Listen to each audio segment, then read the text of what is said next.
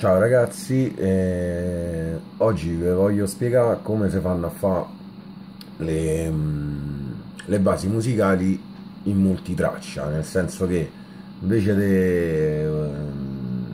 di diciamo così eh, usare i vari arranger perché diciamo che tutti gli arranger oggi possono registrare sia l'MP3 che i WAV o chi viceversa insomma chi, può fare solo mp3 chi può fare solo wav e io adotto un altro sistema che è quello di utilizzare un software che si chiama Dub Audition che molti di voi conosceranno anche che è molto molto molto molto simile a quello che è Cubase insomma. Allora abbiamo aperto Audition clicchiamo su multitraccia diamo un nome al nostro progetto magari io scrivo Nico e siccome già esiste una cosa che io avevo registrato e si chiama Niudo e naturalmente lui eh, andrà a sovrascrivere vedete c'è scritto esiste già.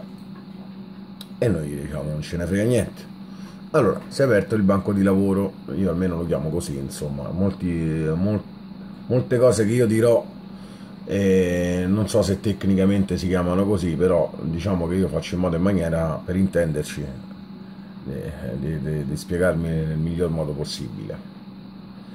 Eh, allora, qui abbiamo appena aperto 6 tracce audio in stereo, ok? La prima cosa da fare, dove c'è scritto l'input, input stereo predefinito, dobbiamo vedere almeno la prima volta cosa stiamo selezionando come input, che tipo di scheda audio abbiamo. Io in questo caso ho una quadro capture e la vado a selezionare solo una volta perché poi dal momento in cui sulle altre tracce c'è scritto input stereo predefinito lui automaticamente saprà che è la mia scheda audio. Ok? Allora come facciamo a vedere se sta funzionando il tutto? Spingiamo R sulla traccia la andiamo ad armare e suonando la tastiera già collegata alla scheda audio vediamo se entra. Vediamo. Eccola qua vediamo. La batteria. Ok perfetto. Allora proviamo a fare una piccola registrazione. Dal momento in cui noi spingiamo il tasto R sulla traccia non stiamo registrando ma l'abbiamo solo armata che sia ben chiaro. Ok? Allora che facciamo dove c'è scritto traccia 1 per non confondere le tracce e almeno siccome dopo quando andremo a registrare si vedranno tutti i disegni che sono tutti quanti su, simili per non rincoglionirci che cosa facciamo? Invece di scrivere eh, dove c'è scritto traccia 1 clicchiamo due volte e ci scriviamo che ne so batteria batteria ok? Perfetto. Adesso andremo alla registrazione della batteria. Io naturalmente farò una cosa di fantasia per farvi vedere il più possibile eh, per farvi capire il più possibile come, come usare questo programma, come divertirvi e come creare delle vostre, diciamo così, performance, suoni, e, diciamo, no suoni, e, song. ok? Va bene, allora iniziamo e vi dico già che io non uso il click, ma volendo lo potrei usare. In che modo? Allora, facciamo la prova col click perché è sempre meglio fare cose il più professionali possibili ok e adesso spingo rec e sentiamo se c'è il click. Ok c'è. E naturalmente il tempo è quello che è preimpostato. Dovrebbe essere 120 come di solito si trova su una tastiera un arranger quando lo accendi di solito almeno sulle vecchie tastiere la, rimaneva eh, la, specialmente sulla Gem US2 quando accendevi c'era sempre scritto 120 sul led dove portava eh, la parte numerica del tempo ok? Allora abbiamo detto abbiamo il click perciò usufruendo del click iniziamo a fare un diciamo così un, uh, un groove di batteria ok? Via partiamo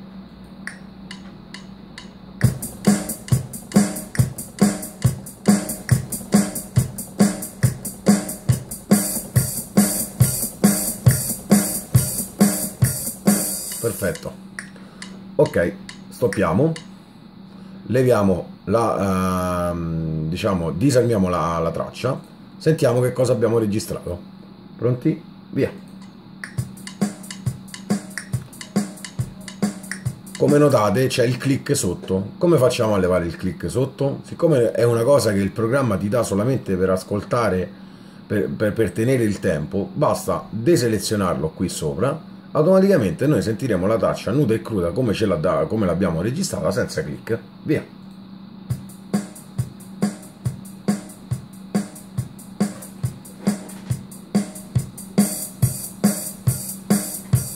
Ok? Perfetto. Allora, adesso non ho più bisogno del click perché dal momento in cui abbiamo eh, fatto la, la traccia andiamo a fare il basso scriviamo basso sulla traccia 2 ok?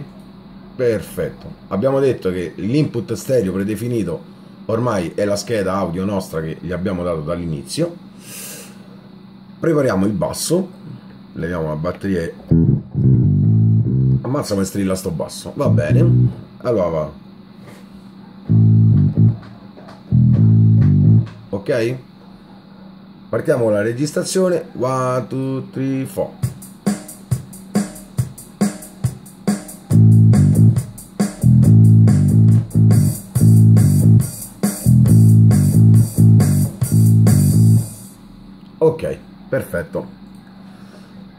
In poche parole, che cosa abbiamo fatto? Abbiamo registrato adesso la seconda traccia che insieme alla batteria suonerà, diciamo, in modo eh, a tempo. C'è un problema.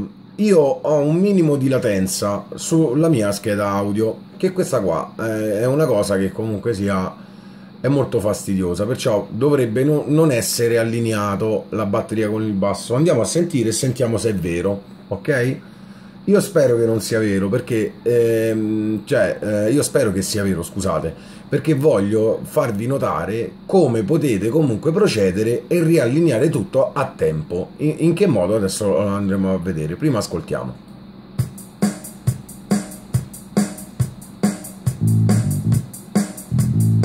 Sentite? È fuori tempo. Allora che cosa facciamo? Allarghiamo la traccia, qui vedete qua sotto, sulla destra in basso, c'è lo zoom per ampliare la traccia. Ok? Andiamo ad ampliare la traccia. Allora, se voi mm, per essere, diciamo così, il più il più precisi possibili, più allargate la traccia e più i movimenti che voi andrete a fare clic, tenendo cliccato sulla traccia con il tasto destro e, e spostando la traccia a destra e a sinistra sarete più, diciamo così, precisi. La cosa che vi può aiutare sono le dinamiche. La dinamica della, di, diciamo, della gran cassa è quella che mh, diciamo, vi, vi, vi, vi, può aiutare come vi può aiutare quella del rullante. In questo caso io sto usando quella del rullante. Però sappiamo bene che la maggior parte diciamo, dei pezzi, a meno che non suonino un basso a controtempo, in controtempo, diciamo che il basso, la, la, il tocco de, del basso sta sulla gran cassa. Allora andiamo a vedere. Perciò vediamo un po'. Prima di tutto vediamo dov'è. Allora mettiamo in mute la seconda traccia e vediamo dov'è eh, il, eh, la gran cassa. Ok. La gran cassa è questa ragazzi, adesso ve la faccio vedere. Questa è la gran cassa. Ok? Questo disegno qua che si ripete, questi sono i tocchi della gran cassa come vedete è un suono più cupo naturalmente essendo più cupo come suono la, la, diciamo, la, la dinamica è diversa il rullante invece che è più secco e, e, e diciamo e, e ha delle dinamiche diverse è disegnato in quest'altro modo quello che vedremo al centro è il, è il Charleston ok perfetto perciò è come se noi ci abbiamo in, in poche parole ci abbiamo disegnata la batteria qui allora, abbiamo detto Gran Cassa, che è questa, ok? Abbiamo detto Charleston, che è questo più piccolino, che ha un suono molto più basso, e abbiamo il rullante qua. Vediamo se è vero. Perciò, Doom, Charleston, rullante. Avete sentito sporco perché io la sto, lo sto facendo camminare molto, molto velocemente, però vi faccio vedere su un pezzo, ecco guardate, adesso ve la fa Gran Cassa, Charleston rullante. Avete sentito? Avete visto mentre si, so, si muoveva, diciamo così, il cursore nella traccia play come andava a, a, diciamo, a farvi sentire i, i, vari suoni che noi avevamo già detto. Ok, prendiamo il basso e lo mettiamo sulla gran cassa, su per giù. Vediamo se è allineato bene, se no ci sposteremo. Ok? Via. Perfetto. Lo sentite? Ok, perfetto. Adesso, siccome abbiamo visto che ci piace il lavoro che abbiamo fatto, che cosa facciamo? Abbassiamo, riduciamo un'altra volta la traccia in lunghezza e la facciamo ridiventare corta. In questo caso dobbiamo eh, registrare la terza traccia, a questo punto mettiamo una bella chitarra. Allora, vediamo. Usiamo una bella chitarra di quelle. Oh, oh, oh, oh. Scusate, eh, sto scegliendo la chitarra. Non è niente di preparato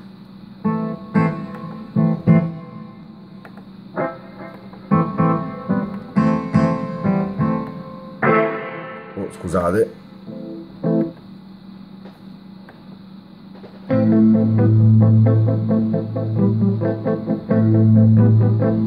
a fantasia eh? pronti?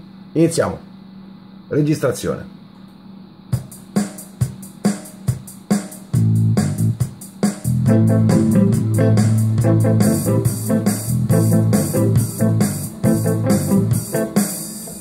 ok? Perfetto, abbiamo aggiunto la chitarra. Adesso anche questa avrà problemi di allineamento. Sentiamo dove la vogliamo fare intervenire e ce la andiamo a collocare, ok? Perfetto. Vediamo.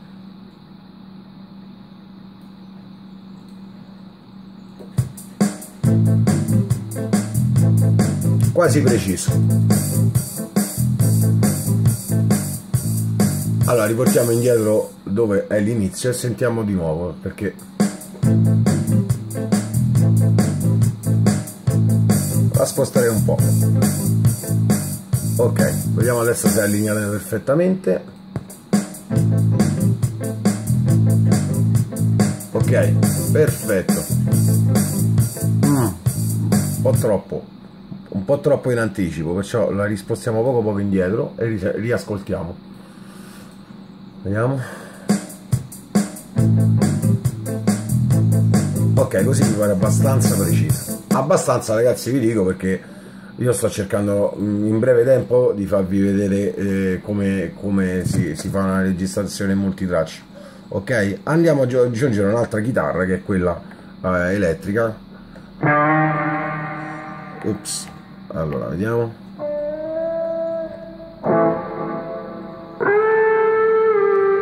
ok? Perfetto, se, se, avete già in mente che è, se no fate delle prove, vedete quello che volete, volete fare, insomma, e aggiungiamo la chitarra, ok? Via.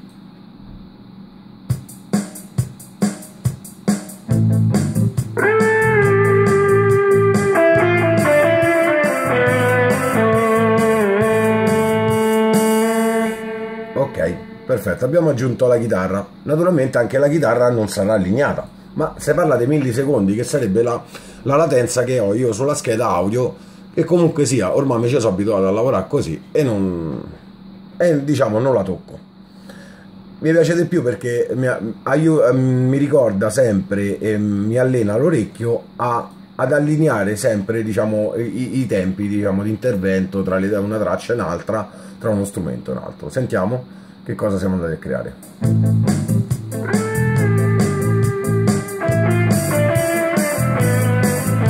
è poco poco in ritardo, perciò basterà allargare un po' per essere più finalizzati e andiamo a mettere la traccia quasi sull'attacco della chitarra, vedete? Allora, vediamo un po' se abbiamo risolto.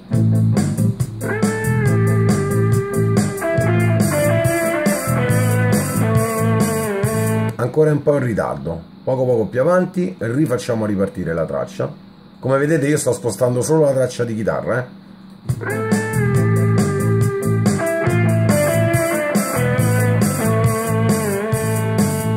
Perfetto, adesso noi abbiamo fatto quello che è, diciamo così, un pezzo, no? Facciamo finta che questo pezzo abbia solamente questi strumenti qua.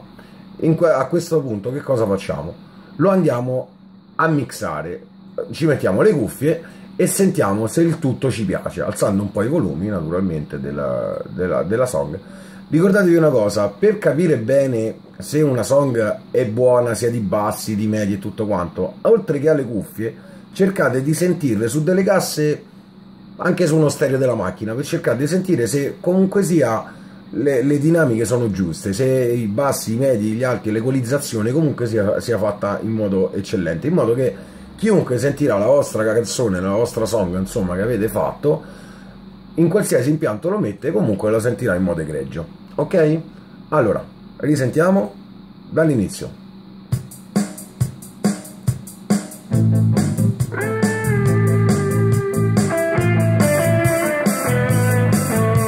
La chitarra un po' sparisce perciò io l'alzerei un po' di volume. Andiamo qui sopra la traccia di chitarra e vado ad alzare po poco poco i dB risentiamo un'altra volta la traccia per sentire che cosa se adesso diciamo i suoni stanno in modo più corretto suonano. Ok. Benissimo perfetto. Sono contento di quello che sono, sono riuscito a creare in pochi secondi. Salviamo tutto quanto facendo col tasto destro dove non c'è nessuna traccia ok? E mettiamo mix down sessione su un nuovo file ok? Questo è quello che è rimasto di tutto quello che noi abbiamo fatto. Un'unica traccia in stereo. Sentiamo.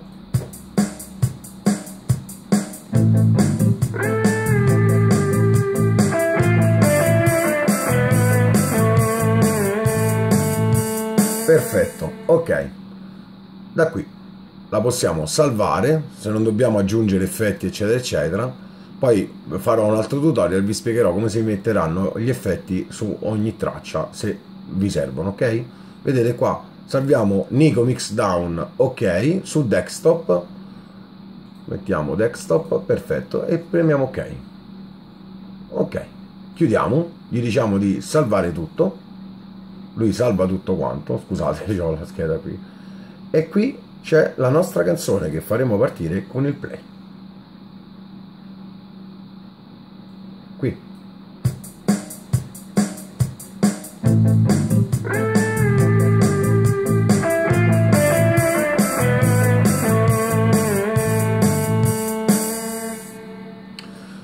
Allora spero di esservi stato utile vi ringrazio eh, se vi piace il video lasciate un like se non vi piace non lo lasciate vi saluto a presto